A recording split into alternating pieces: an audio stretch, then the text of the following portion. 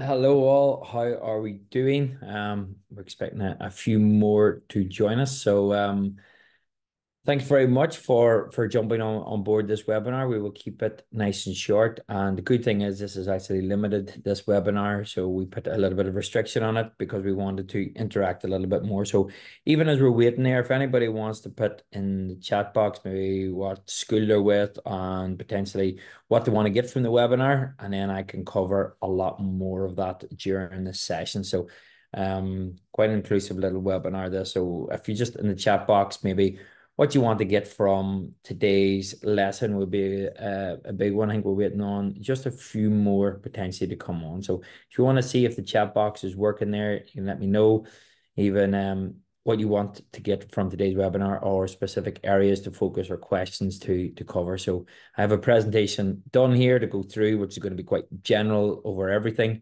But if there's some specific, I can really home in and focus on that as I go through. So anybody, any any you want to put in the chat or uh, the Q&A, it's totally up to you. You can go for that. Let me know what you'd like to get from today's session.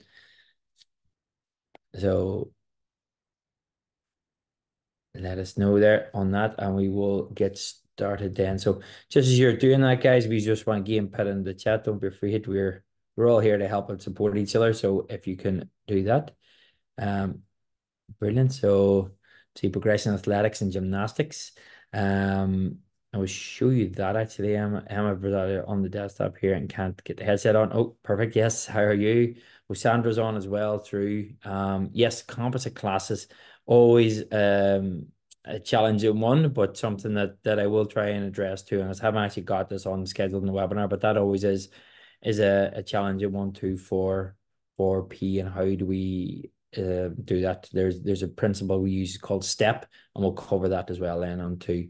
Um, just some new ideas for P5. Excellent. Um, I will do that, and I'll show you as well to link you into our YouTube channel where we have a lot of of stuff on that there. I love to see progression through foundation composite classes, especially gymnastics.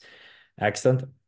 What I'll do is I'll show you some um stuff that we have uh, on on our gymnastics overview as well from um, some of those simple programs that we have. I will look at that, guys, and I hopefully share. It's brilliant. This is kind of getting more ideas in my head.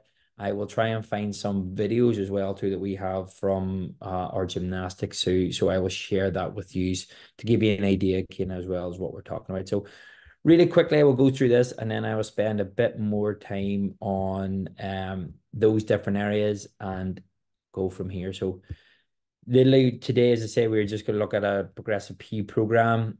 Going to review, you know, where we're currently at, even with the ETI report. But the first question I would like to ask you guys as well too, and this is why do you deliver um P? Why do we deliver P in school? So if anybody wants to put in the chat box, why do you deliver PE in school? And be honest and open uh, about these answers as well. What is the main benefit for that? So we'll just get one or two answers and then we can we can move along from there. So anybody, why do you deliver PE in school? Um, this is a question I always ask if I'm doing in-person PE training as well, just to see what the answers come back with. Um, can always be quite fascinating of what we do. Um, number one is I'll see see if any answers come in there, but the first and foremost, normally number one is um teachers will say because we have to. Um, but there, there's a good one, yeah. So you should be very sensible as well. So fun, health, social, promote healthy bodies, brilliant. To develop fitness, stamina, resilience, teamwork. Love all of this. And this is where we'll delve in a little bit into um me not so much. Brilliant. Yes, children do enjoy it and good to get away from online work. And it is true as well. We can kind of look at PE from from a different perspective, but then how do we make that progressive? So I will also this is good that you brought these points up about fitness, stamina, resilience, teamwork, even especially fitness stamina, because there's a difference between PE and physical activity, which I'll cover. And I think it's important to, for us to to understand that as well too. So um Go on to the next one again. YPE. It's one of the six areas of learning. It's part of government policies. It's cross. We can bring in a lot of cross curricular links in with it too. It does improve the physical, social, emotional, and academic development to a certain degree because we fire a lot of stuff in the brain from it. But most importantly, it should be fun. Um, it's not going to be everybody. It's not going to be everyone. We need to kind of classify what fun is for children. But again, it can be a brilliant opportunity to make it to make it fun and engaging. So the ETI report came out. Um, I'm not going to spend too much time in it. In actual fact, we are now in 2004, and this is when they said they are going to come out and review. So I'm looking forward to that. But essentially, key findings from it were um, minority of schools deliver um, PE at a high standard. Um, most schools don't have trained or skilled PE specialists. The key strength in learning was expertise of teachers is, is in creating safe, active, and inclusive environment for all, but not many can do this progressive over time.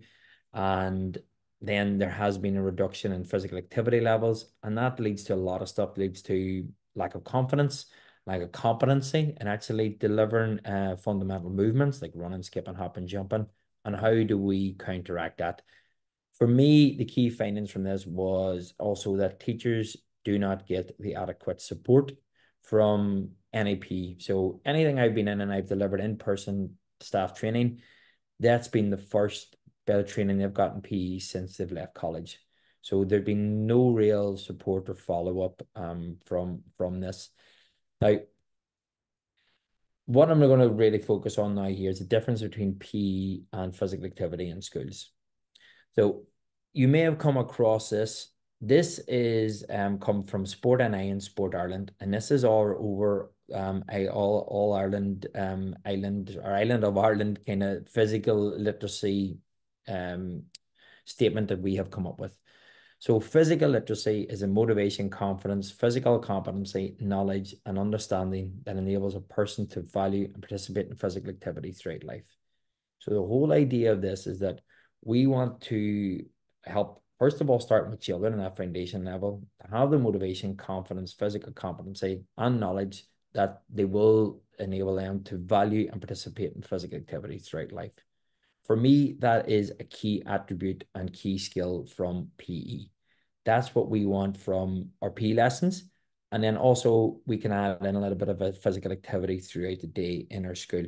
So these are a few things that we want to keep an eye of. I'm not going to go in too much more into this. If this is something that kind of strikes that you'd like to know more about, please visit Sport NI or type in physical literacy Sport NI and it will give you a breakdown of all this. But there is an actual class in it itself that um the course that they run as well too that you can actually go through that. So that's just just give you a little bit of understanding of physical literacy. But what does it actually mean when we're developing children's skills and physical development? What we need to look at before we even look at progressing or PE programs is where our children are coming in. They're coming into our class from nursery to primary one, and what they need to have is a strong foundation. So in a strong foundation, you call this our perception motor skill development. So these are nine areas. So they include vestibular awareness, so ability to spin, tactile, proprioceptive, auditory, visual. So all of these combined together. And what how these are developed essentially is through play. So from the ages of zero to four, before even children come to our school, we would hope that they would have a lot of these perception motor skills developed. Unfortunately, they don't. So they're coming into our school for a number of reasons they don't, because the screen time, busy lifestyles from parents. There's potentially two parents are out of out working all day. It could be a single parent. There's so many factors.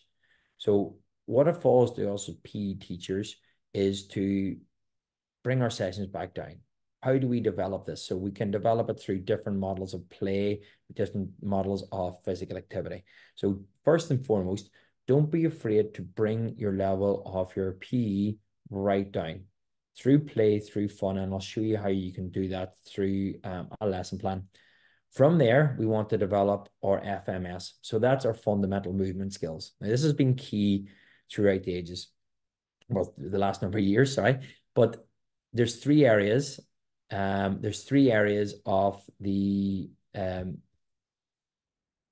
there's three areas of uh, your fundamental movement skills. So you have locomotion, So that's all your movements. So you're running, you're hopping, you're skipping, you're jumping, etc. You have manipulation. So that's all you're throwing. You're using implements. So striking with a tennis racket, a hockey stick, um, kicking with a ball, etc., and stabilization. So that's your balance, your twisting, your turning. These are the three key areas for your fundamental movement skills. And within that, there's something like 70 movements within those three areas. So there's a lot there. And again, how you do that is through fun games and play. You may cover all three areas in one game. So, for example, a tag game, your tag game, you're bringing in your locomotion. You're starting to run. You may be using an implement for people to catch. It may be a ball, so they may have to throw to tag somebody. They may have to reach to tag somebody. You may then, whenever you get caught, you have to balance for three seconds. So already you have brought in the three main fundamental movement skills. Then you go into your sport specific skills. And this sometimes is where in PE, we maybe don't have the confidence ourselves or the competency to deliver these fun games. So what we do is we throw children straight into a sport. So let's go and play hockey. Let's go and play football. Let's go. But if children haven't developed the foundations, they may struggle with the sport specific skill. So again, it's just something to bear in mind. So if we, if they've started off with a strong foundation of play, maybe they haven't got it home, maybe they have, fantastic. We maybe need to reevaluate that. So what you're looking at then from there is when they do have that, they increase their confidence. So they love P, they love physical activity because they have these foundations that they find it easy to balance. They find it easy to run, to put one foot in front of the other. They find it easy to catch and implement. So these are a few things they look at. Then they have the competency, so they can perform the skill to do that.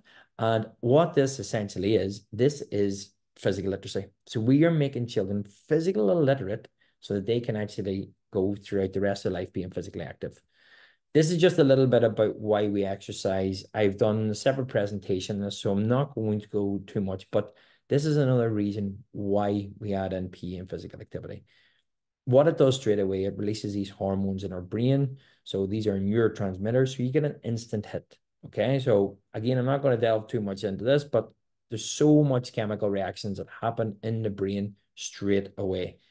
From there, what we're going to do is then we have our BDNF. So this is something that's released in the brain. This is a protein that's released in the brain and it's brain brain-derived neurotrophic factor. This is amazing. When we start to work at 60% of our maximum heart rate, so essentially when we're really active, we start to release this protein in our brain.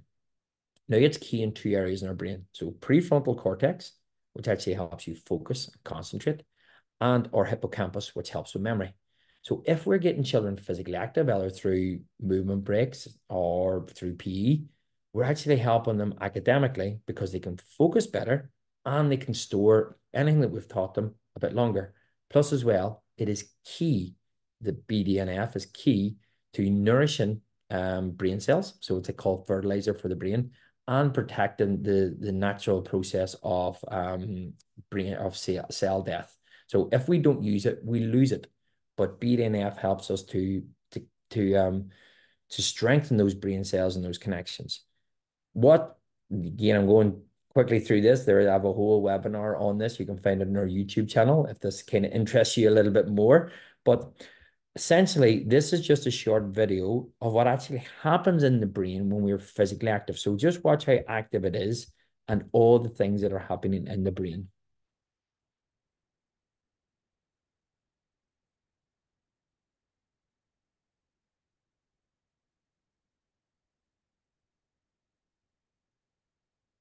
So in this, these are all our neurons, these are our synapses, these are all our, our connections to each neuron. So once we start moving, once we start interacting, once we start reading and doing all, oh, there's so much activity that happens in our brain, but it's all based through movement. This is what fires everything up when we move. Have you ever found yourself when you're working and you're stationary for a long time, you just lose focus and concentration? Or if you have been out for a run or if you've been in the gym, you're buzzing afterwards you're ready you can go and do the next thing you're feeling good about it all so that that's just a short insight into what actually happens in the brain. Um if i move on to the next one here. Um don't think that's going to let me do that. Let me see. Um let's that. Oh there we go. So just really quickly, this is now the difference what we have between physical education and physical activity. Again, guys, I'm just kind of building up the the outline of this. So for for PE, for physical education, it's curriculum based. There's a minimum of two hours per week that we're meant to schedule in for that.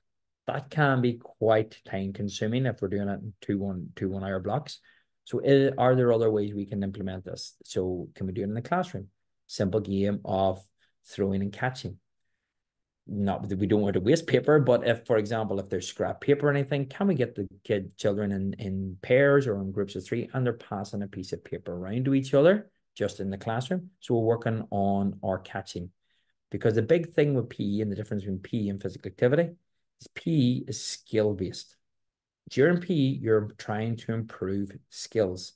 Yes, you will improve physically, their stamina, their fitness, but if you focus on the skill base first, so even in athletics, when you're running, when you're skipping, when you're hopping, when you're jumping, you're teaching the skill of those. Not actually the the byproduct and the benefits is that it's going to increase heart rate. It's going to get them moving. That's fantastic. But teach the skill. What you're doing, looking to do too, is your your FMS, which you talked about, and then in your sport specific skills. So it's a clear pathway. Brilliant, somebody mentioned this before. It is an amazing opportunity for team building an individual. So pushing yourself individually, testing your skills individually, and testing them in a team environment. How do you work in a team environment, technically, tactically as well? Improve confidence and competency. And essentially, it could be the first taste of developing a love of sport for young children. So you could be doing gymnastics, you could be doing athletics, you could be in your games, you could be focusing more on key stage two towards badminton or basketball or something maybe they may not even um, get an opportunity to play. That could develop a love for that sport. For you as PE teachers and teachers in general, when you are covering a subject, if it is a unique to gymnastics or athletics or anything, my first bit of advice would be find out where your local club is. Because if you notice that, and again, you don't have to be skilled in any of these areas, but you will see they're very good when it comes to hand-eye coordination when they're playing badminton they've constantly hit it. Where is a local badminton club or where is a local tennis club? Because they could be good at racket sports or hand-eye coordination, golf, for example. So, you know, do they work well as a team individually? Could they go and um, promote a different or play a different sport? So what you're doing is you're planting a seed. If you've seen something, go to the parent maybe with a solution. I think your child is excellent at this through what we've done. Possibly maybe think about sending them here. These are the dates and times that it's on. The difference then with physical activity is every day children should get, young children should get uh, 60 minutes of vigorous to moderate activity every day. Essentially what that means is 60 minutes where they're going at a pace where they find it difficult to talk. Okay, so they can't hold a conversation without taking a breath or moving along. So if you're going for a little walk, you may, some children may find that that could be their vigorous activity, but majority will find that quite easy. If you start adding in jogging, if you start adding in some team games or moves, this is where they will start getting vigorous activity. So it doesn't have to be done one block. It's incremented throughout the day. And unfortunately, as we well know, children may go home and they may not be physically active at all. So you're working roughly 60% of your maximum heart rate when you do this. Um, it is all about physical development. So physical activity is develop their their muscle strength, their bone strength, their their skin health, um, all of this that happens, their organs, their heart, their lungs, all develop through physical activity. Again, it can be done with team building individually. It does improve confidence and their self-esteem, and also uh, develop just a love of physical activity, a love of getting out there and running, being with friends, you know, jumping on a bike. This is all the areas that we're kind of looking at as well into just a wee bit of research that was done as well too. So we talked about um, to get the release for academic performance was working at 60% of maximum heart rate. So release of the BDNF, uh, the protein in the brain. It can last up for 32, um, or sorry, two to four hours per day. So predominantly being physically active in the in the morning is probably one of the best things you could do. Now, the research also says when you combine that with a complex skill, so i.e. if you're doing PE and it's physically active PE, that can actually release more BDNF in the brain. So if you were able to schedule P at the start of the day, that could have a positive effect on how children um, perform in class throughout the day. So that's something also to be mindful of. Big thing is anything I'm speaking about here, guys, every day is great, but starting is also great. just once you maybe change one small change into getting them either physically active or picking your pee at the start of the day could make a massive difference. Um, this is maybe again just to help to make it progressive throughout, but this is some how you can add it into the school day. So you have movement breaks, you have links with other things. You, we we have YouTube channel as well too, adding in a bit of sense of free play, new activities, classroom based. I can send this all on. Um, this is more how we can implement a little bit of physical activity. Um, further benefits again, it helps with the culture of the school, the mood, behavior, everything as well. So not going to delve too much because I want to get into an overview and understanding of running effective PE programs and, and, and essentially make them progressive. And I'll answer some of the questions hopefully on this as well too. So this is, is an example of how we progress dance in, in schools. So what we have done here, if you look across the top from week one to week six, okay, across the top, week one, we always do an intro. So it's an introduction at each of the year groups. Week two in the Northern Ireland curriculum, one of the main areas is body actions. Uh, one of the other areas is space, another area is dynamics, composition, and then we finish with a little showcase. So we talk about team building and working together. This is a great way to do this. Now, in here on the left-hand side, we went simple, simple things. Now, when we're looking at dance, this is where we keep it really simple. So things we need to look at is everything's done in an 8, 16, or 32 beats. So for example, in primary one, we do eight beats to wheels in the bus. So if you listen to wheels in the bus and you clap your hands, it'll be the wheels on the bus go round and round. So you count out to eight and listen to the music. That's about an introduction to dance as you want for children. So again, it's skill based.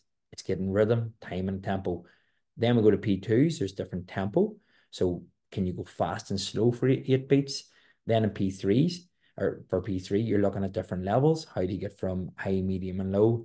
P4 is partner work, P6 using tempo, um, uh, different routines, etc. So that's an introduction just to throughout each level.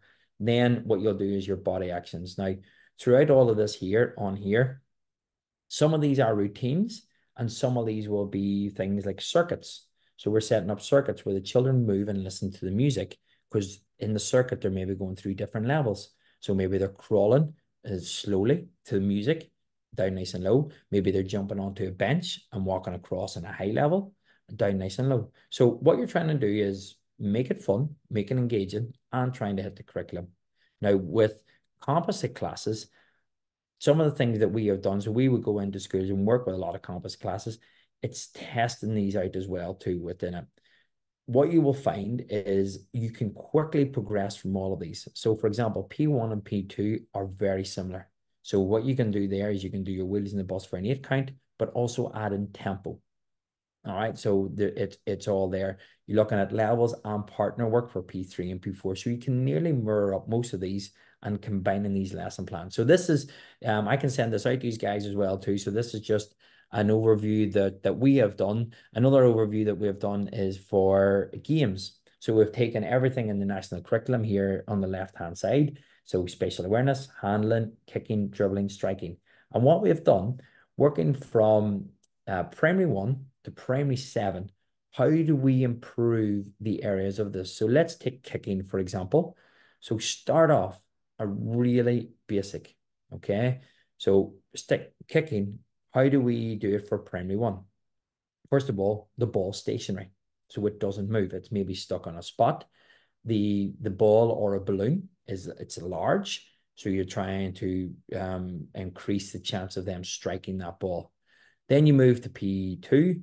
So you're trying to hit a target. So you have to try and hit it through a, a gate. Again, you can make that quite large. P3, they're actually kicking now for distance and accuracy. P4, they're kicking a moving target. P5, they're kicking maybe different size and objects for distance and accuracy. And then P6 and P7, you're implementing the skill of kicking into a game. Now you take that same concept and you progress that through everything. So for handling and catching, for example, starting off, one of the biggest processes for, for handling and catching is start off with a bib or a scarf.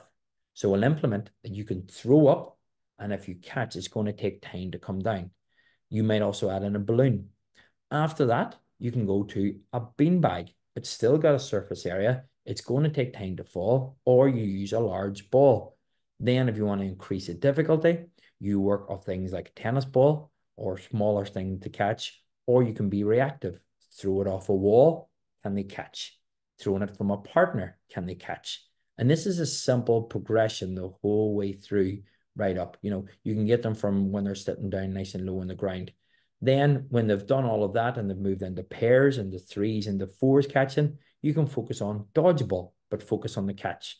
You can do netball, handball, etc. So hopefully that makes sense of, of, of again, of how you can progress it. Now, in a composite class, you can, and I'll show you in the next one, how we use the step principle, that you could have some of your, some of um, the children, for example, if you're primary one, they're using bibs and they can keep on that maybe all session, but you start maybe the P2s and threes are excelling on that. So instead of using bibs to throw and catch, they're still throwing and catching, but now they're using a football. Now they're using a tennis ball or they're using a beanbag instead because they will get the reward. They may find that the bean that the bib is too easy, that they think, oh, I need to be challenged. So we add on a beanbag. Then the challenge starts to come. Now you can try the P1s and you'd be surprised of how, how quickly they will progress as well. Try them with a bib or sorry, a beanbag or a ball. And if they're still struggling, go back to the bib.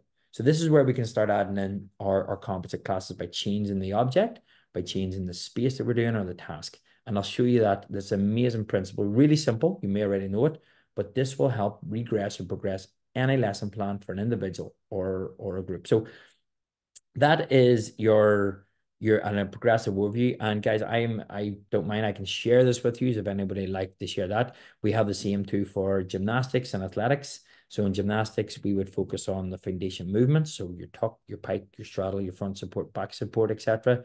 Again, reach out and I am happy to to share that and how you can do that. So this is only again a, a respectful your time. I'm not going to take up too much. And if you would like to delve in more, this is what I'm here for. Let's start off a conversation and we can get into it as well. So um when you are doing any PE program, trying to progress it along, use less things. Keep it simple, keep it straightforward.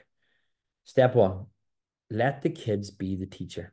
So if you want to progress your lesson as well as you're going along, let the kids be the teacher. Ask questions. Can anybody try and throw in a different way? Who can catch it with a different part of their body? Can anybody now, can we do this a different way? We haven't moved yet. So what ways could we move and throw and catch? Can anybody go backwards? Brilliant. Can anybody go forwards? So you're giving ownership to the kids, you're asking them loads of questions, and they're exploring the whole time. Step two, there is no need for lots of equipment to run the Northern Ireland curriculum. You need basics. You need bibs, hula hoops, bean bags, cones, footballs, and then if you have any rackets. You will then even, even mats. If you have mats, fantastic. If you don't have mats, you can still run a full gymnastics program for mats. If you'd like to know more about gymnastics as well, check out our YouTube channel where we've done a full webinar only on gymnastics and it had loads of videos and ideas. So you can check that out too on our YouTube channel. Don't overcomplicate simple games. So keep them nice and simple, but use this next process that I will show you as well too in the step principle for that. What we do for our lesson plans and this is how you can then use the same template and progress it throughout each of the year groups. First of all, when they come in, play an instant game. Second of all, explore the skills. So an instant game, for example, might be a tag game. So we're playing tag. Okay, now I'll show you again how we can um, make that easier or harder as we go along. The next one, then you let them explore the skills. So it's throwing and catching. Give them a bib. Again, like I said, who can throw it different ways? What they'll, they'll start throwing on their legs or start throwing it backwards. They're exploring the skill. Then, for example, if the, the skill was an underarm throw, we teach the skill or get a child who's really good at it to show everybody in the class. Again, you can take a back step and let the children be the teachers. Then you play a game that's related to the skill and finish off with a cool down or a review. So that's just a simple thing. And this is potentially how a lesson plan might look. So this was a running one for athletics.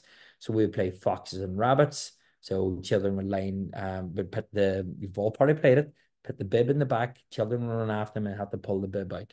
Then we would do sprint relays where we would get children to run from one end to the other. And we would tell them, okay, who can run now without using their arms? Can anybody run sideways? Who can think of the fastest way to run?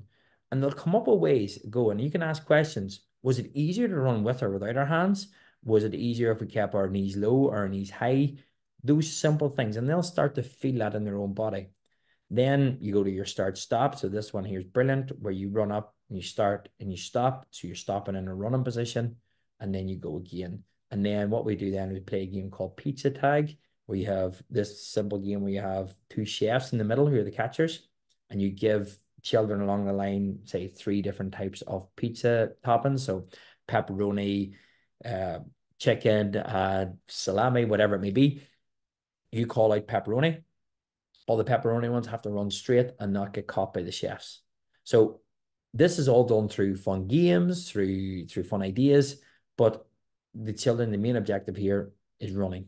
So they're running, they're moving around, they're doing all the games that are linked into it. So that gives you gives you an idea. Now, this is I've mentioned this a few times.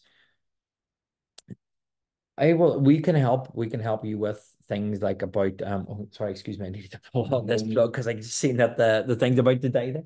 Um apologies, apologies. Um we can help mm-hmm. you with things like your lesson plans and schemes of work and sitting down. And that's we're not going to cover that in a 45 minute session. If you do need any more help and support, we can reach out. But this is to help you right now in your lessons. Follow this simple principle. So if you this is brilliant for composite classes, if you would like to change any lesson or any game or an individual or group, think this. So for example, if we are playing foxes and rabbits, so to visualize this for everybody, foxes and rabbits, you get the bib, they put it down their back, that's their tail. And with the fo they're the rabbits, they have to run around and the foxes have to have to try and catch them. Now, if we're playing in the composite class and for example, we have a P2 who's a catcher, but we have some P4s who are really quick. How we can make it easier for the catcher is we change the space. So they have to run in a smaller space. Now, what that's going to do is going to increase the chance for the P2 to catch the bib, but it also increases the skill, agility, the movement that a P4 has to use. They just can't use the space and run as quick as they can because they're going to be quicker. They have to be more agile. What you can do, you can put on a timer. So if then the P4 becomes a catcher and they're going after P2s, you maybe give them a time. They're only allowed 15 seconds and then they have to balance for three seconds before they run again. Or they balance for 10 seconds, whatever it is. You can change the task. Instead, when the P4 is a catcher this time, they have to hop instead of running. So the P2 can run, but the P4, the catcher, has to hop. So you're changing the task as well for them. You could change the equipment. So for example, the if the P2 they could use they could be able to um, use a scarf instead of a bib and they could be able to tuck it in a bit more and you can make and change the people so if it is the P2s you maybe have uh, four P2 catchers but when it's the P4s you only have two catchers so you're making that a bit easier so this is maybe how you can in a composite class do the same similar lesson with the same outcomes except then just change change all that so hopefully that that makes a little bit um, of sense and help. Um, these are just a few things about when delivering PE, about just being child centered, giving them positive experience and letting them explore. And then um, don't be you don't have to be there to to uh, to to say to them, you know, you need to go this way, stand here, do there. Give them loads of opportunity to try to to to explore onto that. Um, so th those are a few things there. Maybe another one thing here in this one is don't keep your PE sessions too structured. This is a brilliant opportunity for you to have a little bit of more organized chaos. So what I mean is try and stay away from keeping them in lines, but plus don't have more than two or three people waiting in a line. What that's going to do is going to give them opportunities. So say, for example, we are throwing a beanbag into a hula hoop. Brilliant skill for teaching underarm throw instead of just having four hula hoops, have 10 hula hoops with two children behind each each cone rather than having four hula hoops with five children behind each cone. You're going to increase um, the amount of times that they can actually throw. Plus, as well, you cut out um, children kicking each other, maybe in in that as well too, waiting in the line, getting out um, just because they want to be stimulated. Simple game for this. This is another idea, and you can try this one out and this is it'll help too for for composite classes because you can challenge people to go further. Start off with your hula hoop in front of the child. Okay, so maybe you might have two two behind. First person has a beanbag. Once they throw it into hula hoop, what they can do if they land the hula hoop, they gently just flip it over. So they're moving it forward. So the next person then is throwing a little bit further. When they land in, they flip it over. If they miss, they keep the hula hoop where it is. The idea being if you're starting one end of the hall, by the time they keep flipping flipping the hula hoop, it comes the whole way down. So then you're starting to ask questions. What throw was better to get it in? Was it an underarm throw or an overarm throw? Let's try it again. Now, this time, let's use a different throw. If it's easier for some of the um uh for the the maybe children in your class who in the composite class or your um, a higher year group, change implement. Can they have to land now a tennis ball? So they have to bounce it to land it in. Maybe they have to be in the hoop to catch it and receive it. Can they catch a small ball? Can they catch, you know, you have your tall cones holding the tall cone and they have to try and catch it inside the cone. With the other ones, younger ones, maybe still catching the bib. So there's loads of ways how you can still do the same themes, but think of the step principle. That will change a lot. So it's a brilliant environment too for children to, to, to learn to feel and, and make it progressive throughout. So um, just to show you this, guys, um, again, on this, some of you may may have come across this. This is our PE and well-being portal as well too. So this is Welcome more ideas for kids for you guys PE well. and well-being portal. This mm-hmm. portal has everything that you need to run an effective PE program in your school, as well as looking after the well-being of each mm-hmm. child. In the PE and movement section, we have lesson plans from nursery right through to mm-hmm. primary seven. They cover the full curriculum for a full year and more. You simply click on the year group you're working with, select any of the programs from dance, gymnastics, games, athletics, download a lesson plan, and each lesson plan will have hyperlinks for every game that you deliver in the PE session. In addition to this, we have follow along PE lessons from foundation, key stage one, and key stage two, covering all areas of the PE curriculum. You select the video that you would want to display for the kids, either in the classroom or in the gym hall on a screen, and the kids follow along. Our movement breaks are brilliant for activating the brain if the children have been sitting down for a long time or even after a rainy break. Included is our fun fitness workouts, which really get the heart rate up and teach the importance of developing strong foundations. Our cardio drumming is a fantastic and fun way of increasing the heart rate, but also working on rhythm, coordination, and timing. And if you would like to make your own lesson plan, simply search our games library and choose whatever Geek Action program. It's a 10 week course, which is delivered by I just I'm just conscious of time because I want to uh, kind of wrap us up. But that is just an idea of what we can offer with our um with our well-being, our P and well-being program. I didn't even go into the well-being section, but everything you need to run a progressive PE program is all there. So everything I've talked about, all the lesson plans, all this the schemes of work, everything is there for you guys to do, and they're all video linked. Now, that's one investment, and actually we have that on sale. And I'll show you the prices now here at the end. Um, so a huge investment for your for your school to run P um like with very little time and effort needed. So to kind of conclude here, just to, just a few slides left is you what you're looking to do is is develop um, a whole vision for PE to make it progressive. T- treat it as a whole school with cross curricular link. Maybe differentiate between the difference between physical activity and PE. So, for example, the daily mile is not PE, but it is physical activity, and we can make it better even by um making it the daily time, which I've I've talked about plenty uh, a few times there. Rather than getting them run a mile, getting them to run in a certain time zone. So, for example, you may get them out and have to run around the playground in four minutes. How far can they get? So many times can they go around the playground in four minutes? You might mark out different markers and might help with um, cross curricular link with with numeracy. That all they have to do the next time is beat that distance, and so they beat the distance they got in four minutes. So it's saving you time, but gives children a, a marker to go and do. Um, teachers are under trained and they lack confidence and competency. We can help with that as well too. Teachers are time poor. So how do we kind of help with that? Again, the likes of the portal, we can help and investing in time, finances and stuff. Hopefully with the government, we can go back in. So those are a few things that, that are maybe lacking. what we can actually do as well is is take action, have a vision day with with your PE coordinator, with your whole group. Where is it you actually want to go with PE? What are the main uh, things that we're doing at the minute? Um, one other thing is, is working with local sports groups. So how can you use the skills for them? So for example, if you're looking at kicking, link in the local sports club and say, look, you guys are focusing on football. How would you run a kicking program or how do you progress kicking from somebody who's four to somebody who is 11 what skills do you do? So simply send out an email and they may already have lesson plans there for you as well to, to, to follow.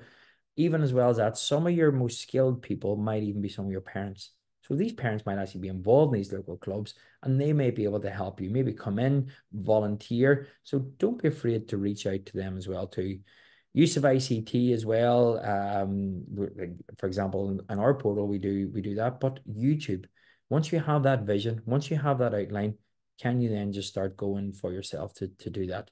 We have an assessment tool on the portal, and it of can help. But again, I'll not go too much into that.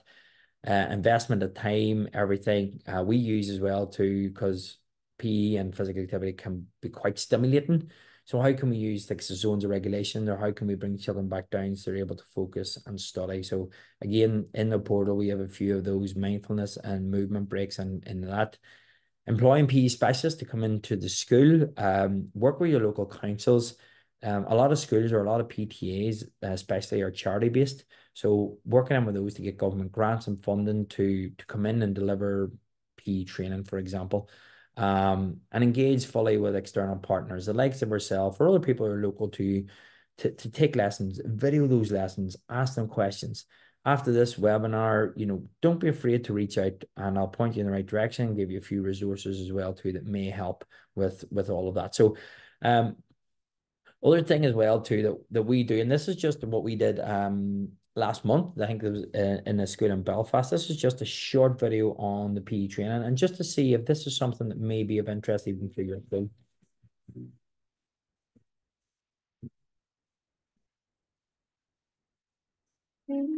Honestly, I think it's helped us develop and our confidence in everything. It was really interesting today, even just how much you highlighted the importance of PE and movement, especially with young children. We're in infant school, so for young children, that movement is so important a lot of people have lost confidence in PE, and I think you've made everything so accessible, and we are ready to go.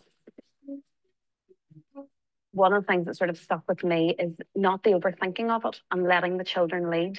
Um, and certainly in a play-based environment, that's where you're coming from. The children are very much leading a lot of their learning. And I could see today, you know, with a lot of those PE activities, that letting the children build their own games into it. And, and that just evokes so much fun for the kids. I think the portal's really easy to use. I think it's got everything that you need, everything that we could possibly need or have to tick off ourselves for individuals or whole groups of children. It's all there and very easily accessed.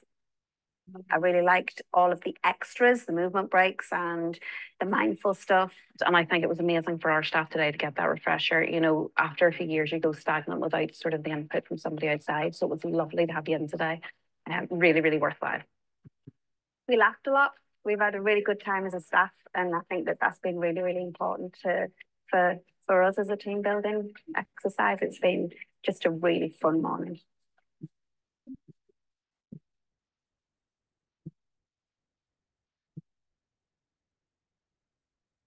So again, guys, that is just again some of the other stuff that that we can offer to kind of to help too as well with uh with the development of of of PE and, and different things within yourself. So we have the PE portal, we have the staff training, we have webinars. This was only a snippet, and hopefully, even if you took away one thing to help you to to run a progressive um PE program, if you want us to come in or you like more information, please do reach out. And what I, if we just go on to the chat um on here and if you want to fill out that little form it's just a wee feedback form so we can we can keep improving um i know i didn't really cover probably the uh, hopefully you got some ideas, but the gymnastics, the foundation of gymnastics as well. I can maybe find it on on here for for ourselves. Oh, sorry, this is as well too. Whenever you're on there, this is um what the portal will actually cost for schools as well. There is a discount, so anybody who's previously on this portal and who's with us, there's there's a, a discount as well for their discount for you guys. But for new customers, we do have a, a sale on, so that's what the portal costs per school is based on number of teachers in the school. So there is um 15% discount for new schools coming on, and that's only until the end of April. So that's just a wee spring sale that we have on. But happy to work with these guys. You get free training on the portal as well. I will guide the teachers through it, taking you through everything that's there. So very, very worthwhile investment for for the whole school. So if you even on that chat again, guys, if you wanted to fill out that feedback form, I'll be sending it on. But again, just for yourselves, keep jumping on the webinars like this. I know it was a really, really short one. Hopefully you took something from it. Um, even if it gives you the confidence to reach out to myself.